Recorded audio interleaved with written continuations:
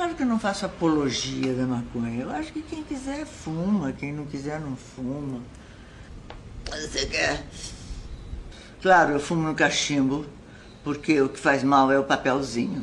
Você dá um tapa na pantera, como a gente chama, dá um tapa na pantera, porque tá tudo quieto, assim, a pantera tá quieta, de repente dá um tapa, pá, na pantera, a pantera começa realmente a perceber coisas que o chamado mundo real não percebe. Elas dizem, meu Deus do céu, dizem que afeta a memória, que você começa num assunto e acaba no outro.